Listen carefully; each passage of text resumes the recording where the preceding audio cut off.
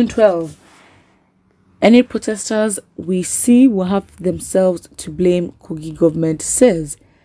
The Kogi state government has warned that the state will not tolerate any protest on Saturday, the 12th of June. He said protesters must be ready to face the full wrath of the law. Because of what? Why the wrath of the law? What are they doing? Protesting, and it's such a problem and such a threat. You are violating the human rights, you know, and by this, you're being a dictator.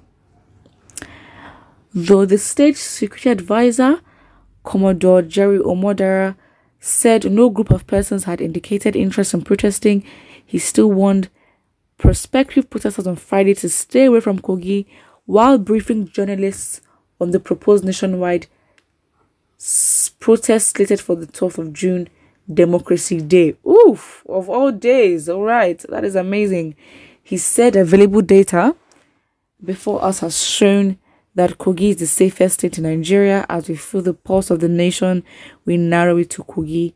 The pulse of the nation right now is that there are so many online reports of nationwide protests on the 12th of June 2021.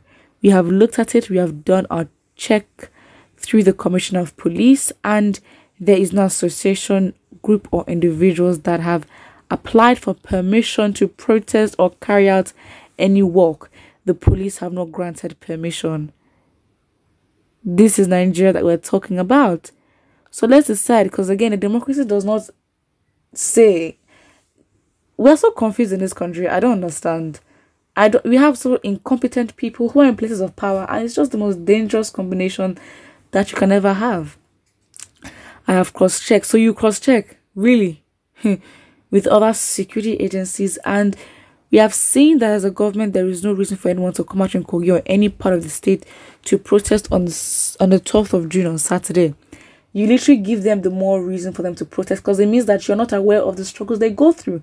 And that is why they need to protest because you have proven not to open your ears and fix the issue. So they have to do it in the language that you understand. Protest. It is a known fact that the, the state has remained peaceful when was COVID 19 time the government did not shut down the state. We continued our legitimate businesses. When it was time for EndSARS, Governor Yahaya Bello came out to support the youths but didn't join in the EndSARS protest. This is because the government is with the people. If you are enjoying unlimited security in the state compared to what we're seeing in other parts of the country, it is important we give peace a chance. You're basically telling them that we give you the bare minimum accepted. Look at look at you. Are you not embarrassed? You're literally telling people of Kogi State be be happy with the bare minimum that we give you. Why? Because in other in other states in the same country you live in, they are giving the barest minimum, and that is all they can get.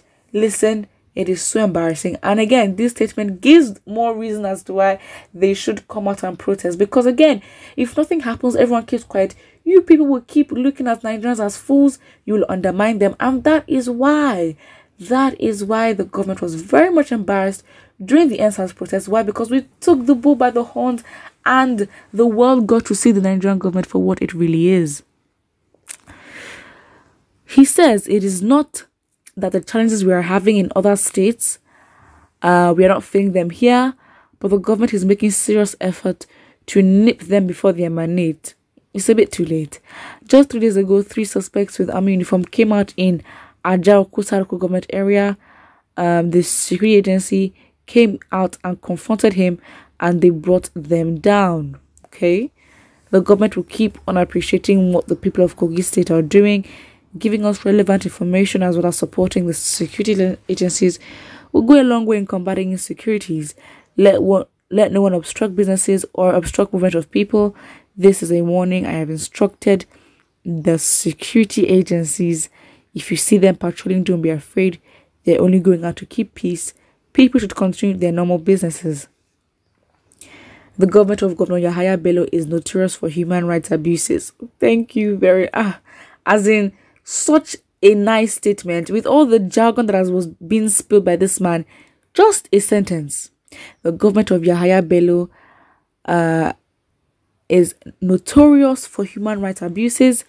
Two Buhari must go protest Larry Emmanuel and Victor Doka have been detained um, by the Kogi State government since the 5th of April despite national and international voices calling for their release.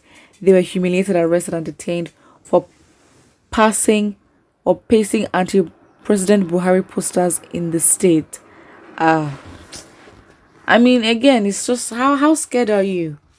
What do you have to hide? If you have a clear conscience, again, it's embarrassing because a process just comes out to say that you're not doing your job effectively. You are very incapable. And that's just what it is. It shows how incapable that you are. And, you know, that's just it. And you're embarrassed. But why are you embarrassed? Because you've done nothing. That's it. So there's no point there's no point trying to limit people's voices. It's the audacity and the temerity that you think that you have a power to do that. But then again, listen, you're they're already in that position of power in which not saying it's justified that they remain there, but um are you surprised?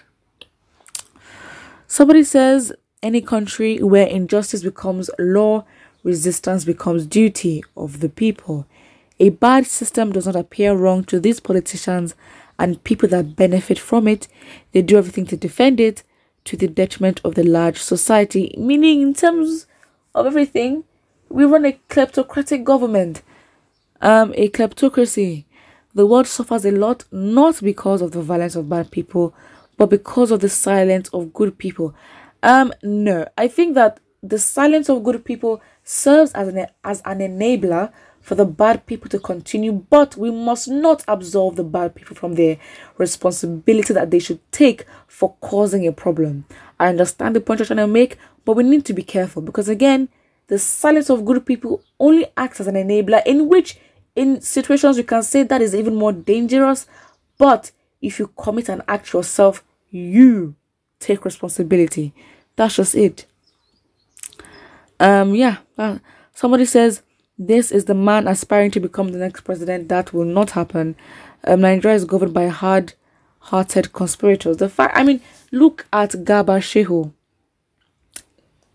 Honestly, I classify them in the no matter how desperate you are to prove to whoever your bosses, whoever that you want to get to positions, you will not get there. At the detriment of who?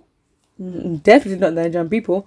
They won't let you happen. And I think I think this process we'll see how it goes. I think we've learned a lot um from previous protests. I mean and I think I and I and I know that Nigerians are very much aware of what is expected of them as a protest because anything can happen. But it's a risk they're willing to take. Why? Because the country is ours and we can't just allow a few a few bad eggs ruin it for all of us.